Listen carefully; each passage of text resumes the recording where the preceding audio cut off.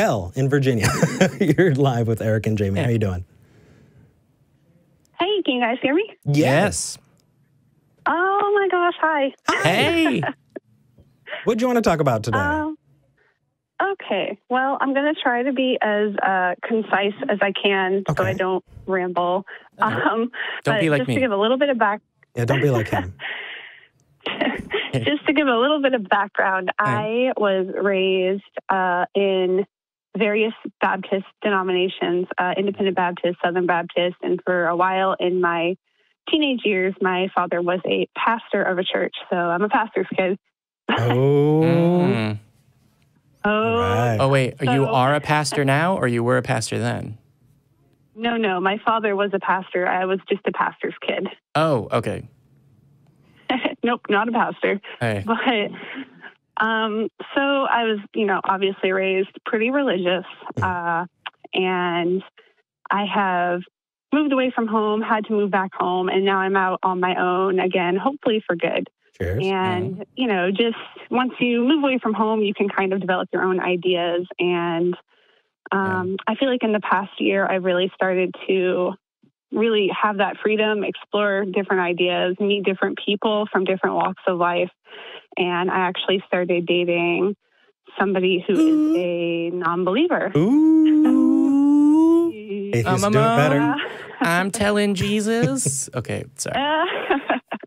but Uh. um, he's super sweet. He's super great. He's very patient with me, and um, you.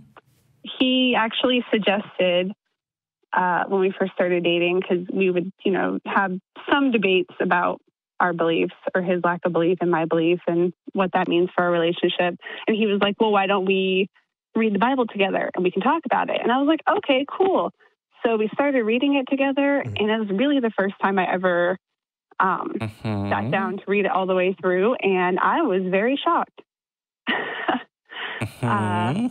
Yeah. yeah. So Yeah. Um, I'm kind of going through a little bit of a faith crisis, if you will. And I was wondering, um, let me look at my, I wrote down my question so that I could uh, word it right and I wouldn't Sure. fuck it up. Hold on. okay. Okay. So I'm pretty sure I'm on the verge of transitioning out of religion, honestly. Okay. Um, I think I really feel like the only thing tethering me here anymore is like the fear of damnation, honestly. like, That's a I, I kind of feel like that's the thing holding me here still. But um, I have a lot of friends who still go to church, family who still goes to church, uh, still very religious. And I was wondering, is there a way to transition out of religion into non belief without going through that angry atheist phase where you're just kind of mad about being tricked So- and, so you know, wasting Yeah. 20 plus years of your life? so uh I I don't know of a systematic way, but I know that it um, happens. What I will say is it's a bit like asking the question is there a way of going through a breakup without um, you know crying your face off and eating a pint of ice cream? Uh, the answer is yes but i don't know of a systematic way to guarantee that. What i can say is the fact that you're thinking about it in advance and wanting to avoid that is probably a good indicator of whether or not it's going to happen and dominate the way that you you see your exit from this. But um, yeah, there's going to be strong feelings, and the actions that you take in response to that are definitely something that um, you're you're able to influence and to a large degree, though not entirely control. Yeah. Um, and something tells me that there's a person that's close to you that you have a good relationship with that's going to understand and be there for you and help. And if not, we have that community. And Yes. we've been there and been that for each other. Eh, call in here. Yeah. Uh, but it sounds like you've got a boyfriend doing that. Yeah, well, that's what Um, I was alluding to. Yeah, sure. I know, but I want to Yeah. throw that in. Yeah, yeah. Um, Bell, um, it, it completely depends on you. And it's different from person to person. There are some people who uh, were only mod- you know, slightly religious. It really didn't play a big part in their lives. And when they left, it didn't have a big impact. There are other people who lost everything because of it. And one of the reasons we say it's okay to be angry is because you can own your own feelings, you can own your emotions and, and your own recovery process. Uh, when you talk about fear of hell, it's going to take time but it will get better, right? Um, it will get better. It's it's so deeply drilled in that you may logically know it doesn't exist, but still have that fear. And it's the same kind of fear that you see when you go to a uh, like like a pound and you close the door loudly, and several dogs, you know, will jump and out of fear.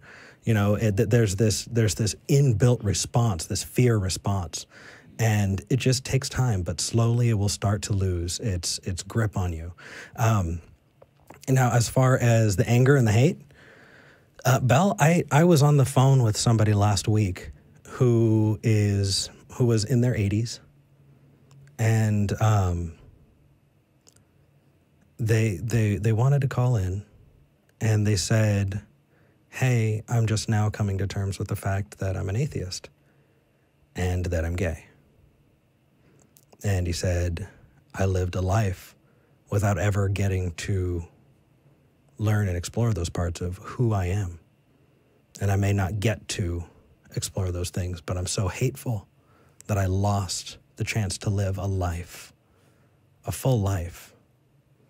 And he said, How can I not be so hateful? What, what, what do you tell somebody like that?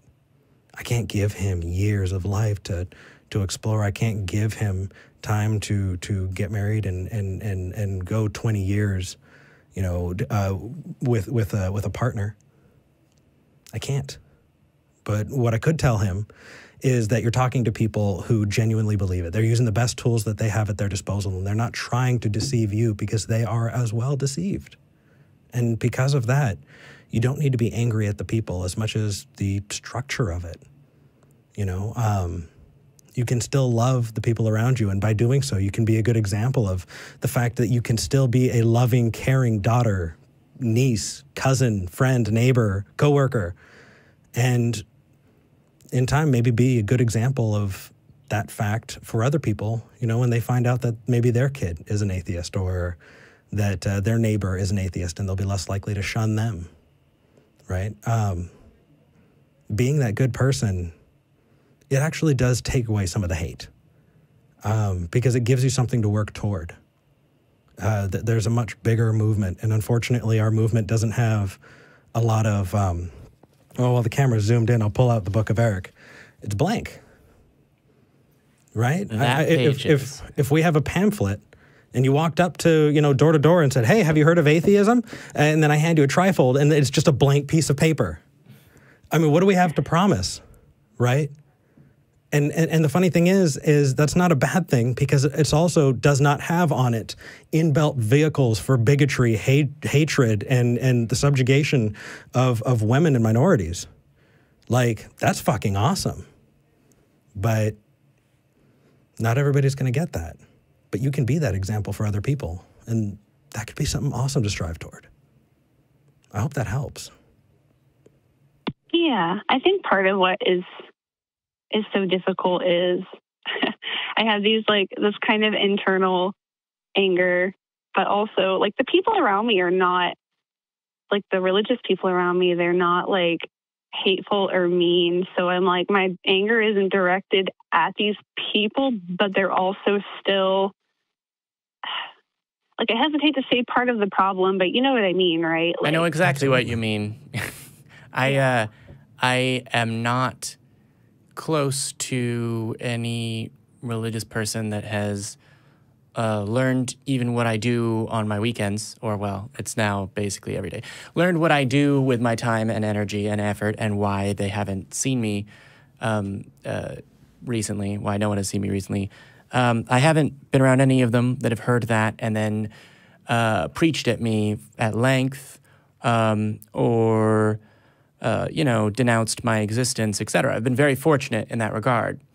And it's very difficult for me to turn around and say, yes, please stop giving your church money uh, because you're making it worse, uh, particularly depending on that church. But um, yeah, I'm still out here working hard. And uh, in the immediate after that math of uh, my deconversion, it was le- less emotional for me. But um, when I had the brief sort of cursory discussions with people that I know that are important in my life, and bumped into them going, "Oh well, you know, sure, there's problems with the Catholic Church, but you know, they, they just they just need more healing," in in reference to uh, Catholic priests that have raped children and the the church that had defended them.